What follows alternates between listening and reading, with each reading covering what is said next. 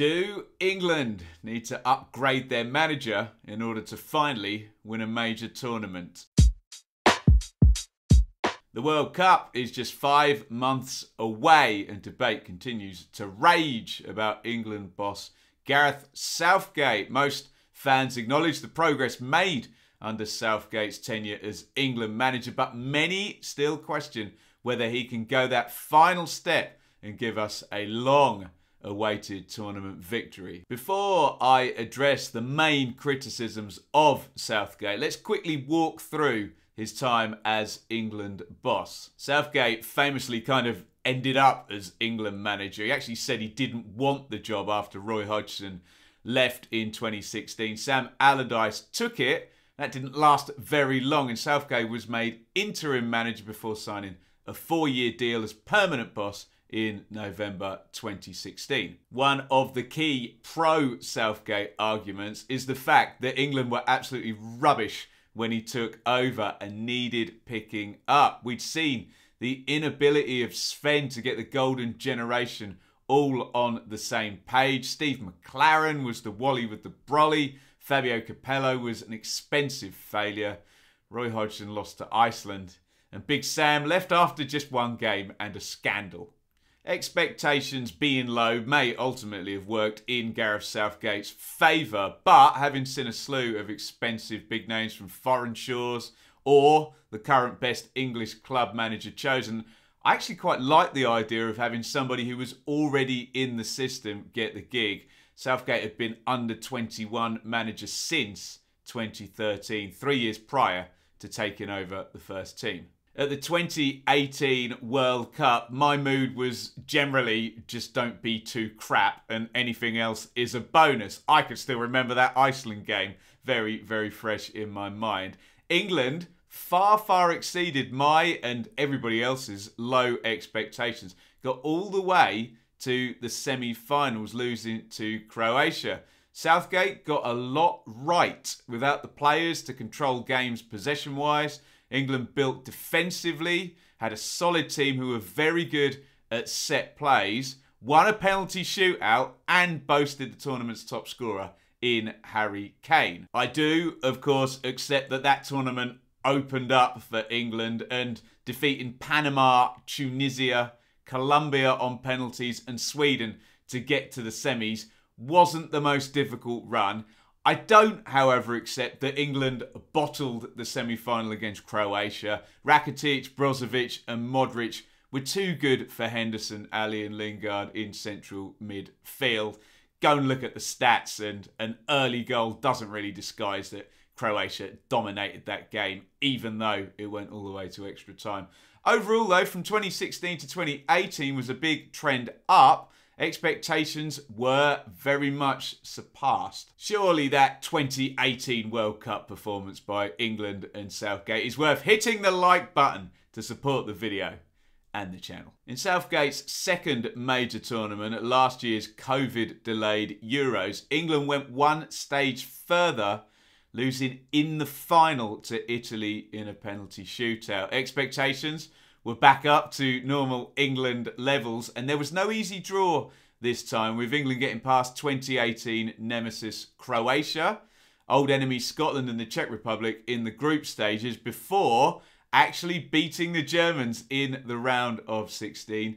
Ukraine and Denmark in the quarters and semis was certainly kinder than Italy's route of Belgium and Spain, I will admit that. A lot of the failings in the final were eerily similar to 2018. England take the lead early on. This time, the trio of Jorginho, Barella and Verratti controlled the ball, controlled the possession and the game in that manner. But there's a big difference. This one went to penalties, and it's not about possession and who's controlling midfield when you get down to a penalty shootout and the fact that two players bought on very, very late, too late in the 120th minute, missed their penalty kicks was, with hindsight, a strategic error by Southgate. And so, with home advantage, lots of games at Wembley, a much stronger English presence in the first teams, key players in the top Premier League teams in 2021, despite being so close, it does feel like that was a missed opportunity.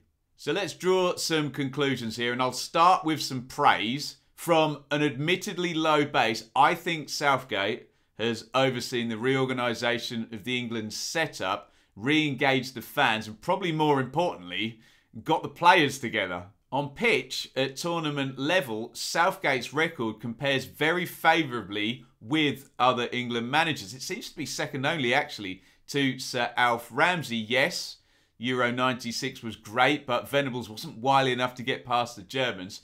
Hoddle's 98 team, they were great to watch, but, well, Beckham got sent off, didn't he? Um, you can probably make an argument for Sir Bobby Robson maybe being a lot more unlucky than Southgate has been to come up against Maradona in 86, Van Basten in 88. But God, 1990, what a chance that was to win the World Cup for England. What I will concede is just because Southgate hasn't grossly underachieved like pretty much everyone since Hoddle, that doesn't automatically mean he's done enough with the players and the opportunities that have arisen. The big area of criticism for all England managers, not just Southgate, is selection and philosophy. But look, I guess to quote Roy Keane, it's his job. In terms of selection for an international team or squad, the nature of the beast will always mean that fans will obsess over players not being used. And I don't particularly want to go down that route. What I will say is that Southgate has built a core of players he's used for the majority of his tenure. He went young in 2018, and that's meant he could stick with a lot of the same players. And he does seem to put his philosophy ahead of picking individual players, which, we have to be honest,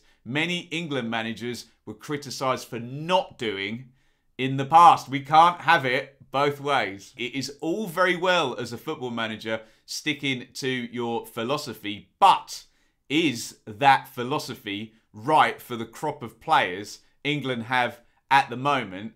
And is it too conservative? And this is probably the area where I do have sympathy for the England fans who are complaining about the manager at the moment. And they probably reasonably argue that the players they see coached by Guardiola, Klopp, and Tuchel at the very top end of Premier League and European football might be capable of a little bit more of an expansive attacking style of football. Could we have Walker, Stones, Foden, Sterling, Grealish, Trent, Henderson, Mount, James, etc., doing a little bit more of what they do with their clubs. Where I disagree slightly with some of the debate around Southgate is that I don't have any issue with a team playing three at the back. I firmly believe that a formation in and of itself is neither defensive or attacking. It is the philosophy of the players and the instructions they're given within that shape that defines how a team plays and what they look like. A three at the back with centre halves not passing progressively, unadventurous wing backs, defensively instructed central midfielders is going to look quite dour and dysfunctional. And yes, England have at times looked that way. However, contrast that with the 3 4 3 of Brazil, for example, in 2002, and the complete opposite is true. Yes, I am making a comparison though, with a team that was set up with Cafu and Roberto Carlos at wing backs and Rivaldo, Ronaldo, and Ronaldinho up top. Maybe it's the players that win the games, not the managers or the formations. Where I will defend Southgate slightly on philosophy is this whole controlling a game through possession debate and this lament each tournament about losing to a team with Rui Costa, Ozil, Khedira, Modric, Verratti on the other side. Maybe Declan Rice and Kalvin Phillips will become those players who can control games in central midfield.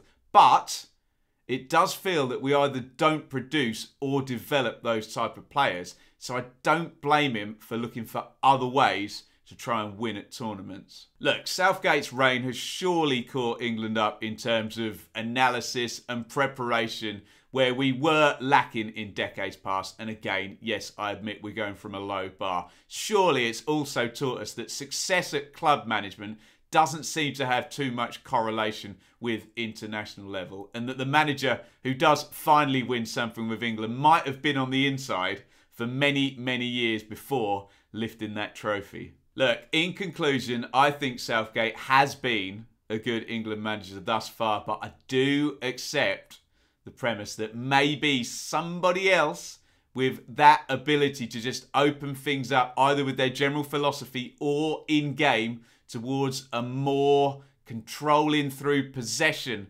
type situation at international football, might be better suited with where this squad is going to be going over the next five or ten years. In life and indeed in football, it's not always the person who lays the groundwork that goes on to take the glory. Look at Bob Paisley and Bill Shankly at Liverpool. Bob Paisley won everything. He was dripping in trophies and medals, but everybody knows it was Bill Shankly that built the foundations for Bob Paisley to go ahead and do that. Maybe that'll be the case with Southgate and the torch will be passed after brilliant groundwork has been laid for someone else to go on the extra mile and win a major tournament. Maybe Southgate will do it himself and win the trophy in Qatar to finish his journey. And of course, everybody, it's England. There's always the chance that Southgate doesn't win in Qatar, passes the torch, and the search for the trophy goes on and things actually get worse. Let me know your thoughts in the comments. If you're pro Southgate, let me know what does he need to do to go that extra mile and win that trophy? And if you think the reins need passing either before or after the Qatar World Cup, let me know who do you think would do a better job and why. As ever, let's um, have the watchword be respect in the comments. We're all entitled to our views, whether you disagree or agree with me or Gareth Southgate or anyone in the comments. Let's keep it friendly and nice and make this the best place to debate football here on YouTube. In the meantime, if you want to see some happy days under Gareth Southgate as England manager, why not check out my slightly over the top reaction to England's win over Germany back in the Euros right here